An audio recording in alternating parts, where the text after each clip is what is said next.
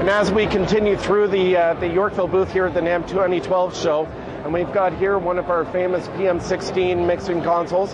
This one here is quite innovative in the fact that we've incorporated a lot of power in here. We have four 800 watt amplifiers within the unit, cast aluminum frame with folding legs, handle for portability from gig to gig, or a permanent structure.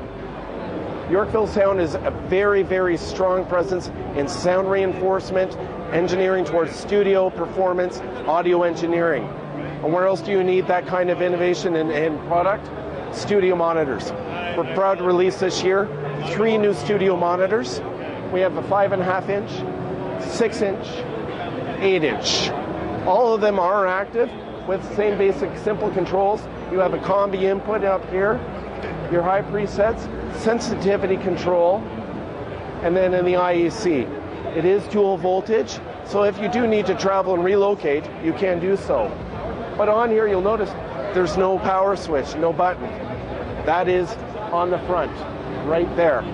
This way, in your studio, there's no more reaching behind, because if your studio's like mine, you don't have a lot of room and you need it nice and easy for you.